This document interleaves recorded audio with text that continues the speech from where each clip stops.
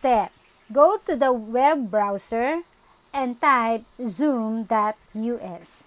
And then, makikita nyo dyan, merong join a meeting and host a meeting. And then, my account. So, let's click my account. If we want to make a schedule, so just click schedule a meeting. And then, marami dyan mga kailangan yung i-encode. Just like topic. Ano ba ang topic mo for that meeting? Okay, example is emergency meeting. And then, the description, it is optional. It depends on you if you want to put or to encode your description about your meeting. And then next is when. When are you going to conduct your meeting? Okay, and then let's go now to time. So, dito sa time, every 30 minutes, meron kayong pwedeng pamilian. So, just like 12.30, 1 o'clock, 1.30, 2 o'clock, 2.30. And then you can also choose if it's AM or PM. And then duration, how many hours ba i-conduct ang inyong meeting or iyong conference?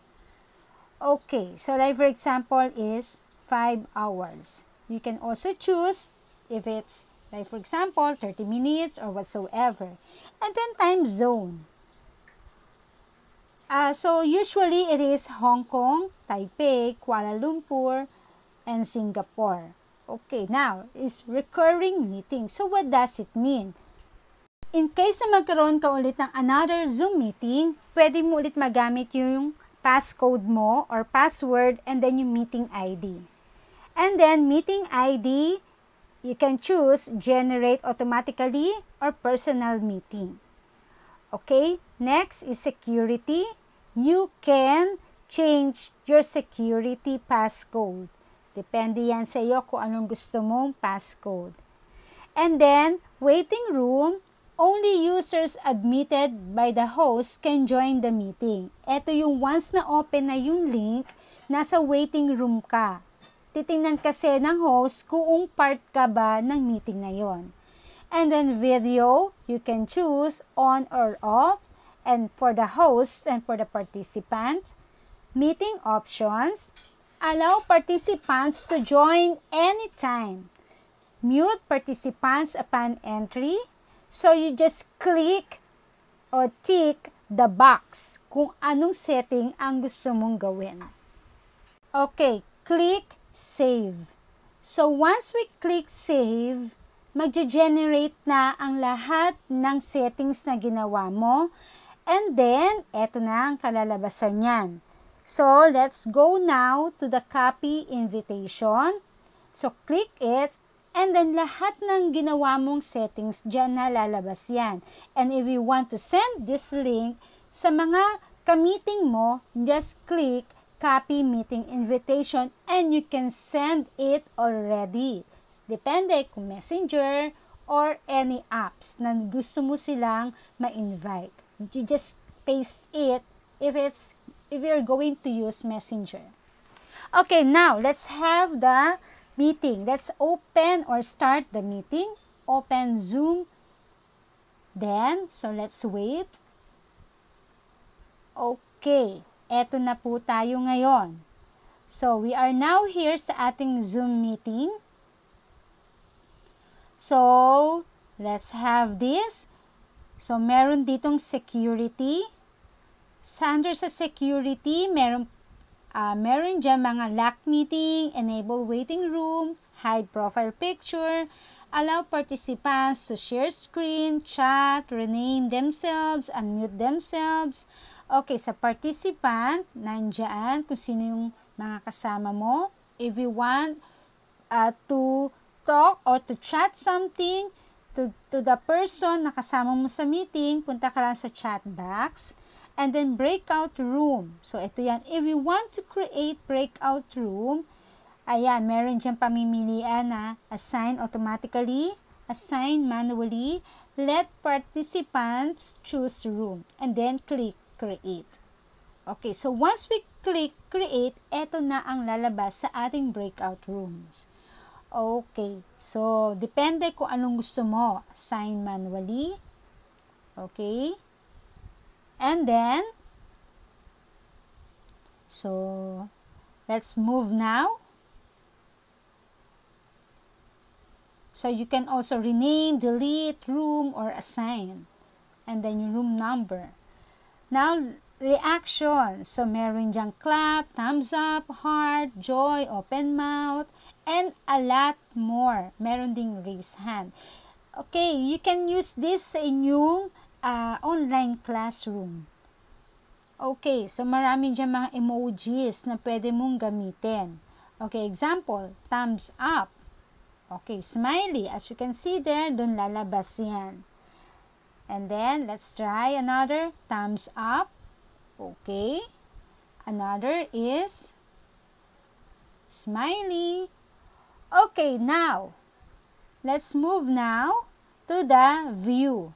Ayan, yung mga view na gusto nyo.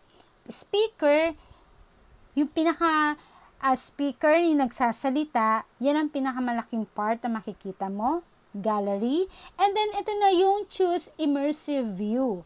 Okay, para maganda ang settings ng inyong online Zoom or ang inyong meeting, lalagyan natin sila ng immersive view.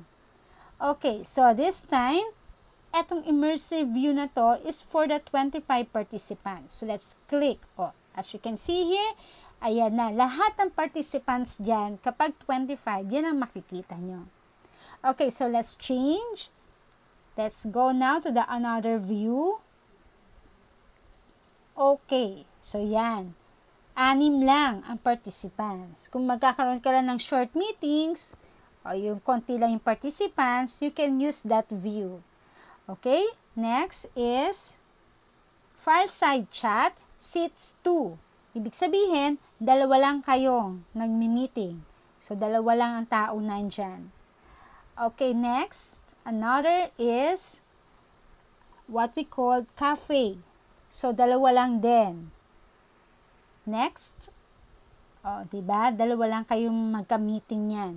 Another view or another immersive view is a classroom seats 25. Okay. Kapag 25 ang estudyante mo, ayan na, di ba? Para ka na sa classroom talaga, online classroom.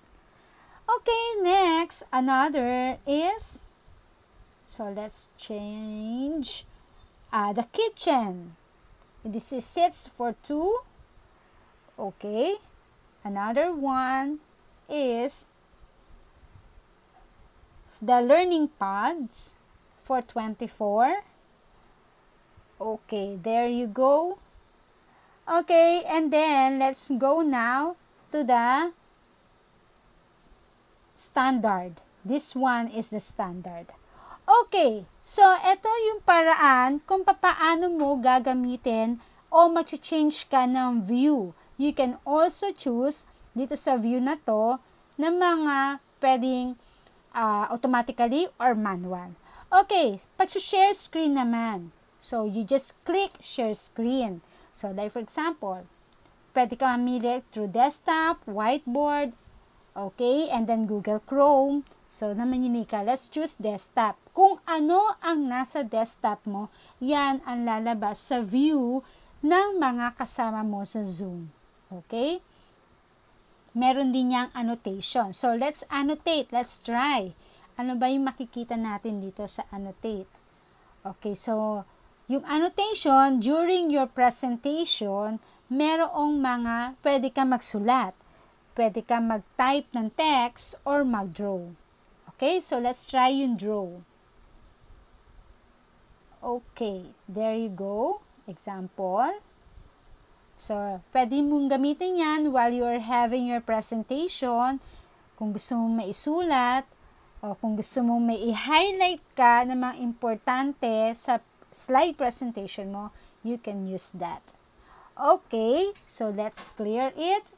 Clear all drawings para ma-erase lahat. And then, if you want to stop it, click stop share. Okay? Okay. Next is, what if, if you're going to share yung presentation mo and then make sounds? So, what will you do? So, meron ditong share sound. Click it or tick the box and then optimize for video clip. Tick it. Okay, tick the box and then yan na ang makikita sa presentation mo at yung view ng mga participant sa Zoom meeting. Okay, now, what else? So, we have here the different um, meet set uh, settings. Okay. So, I hope natulungan ko kayo kung papaano mag-set up ng meeting and then sa paggamit din ng immersive view. Okay, so thank you for watching. Sa mga hindi pa nakapag-subscribe dyan, don't forget to like and subscribe sa aking YouTube channel. Thank you.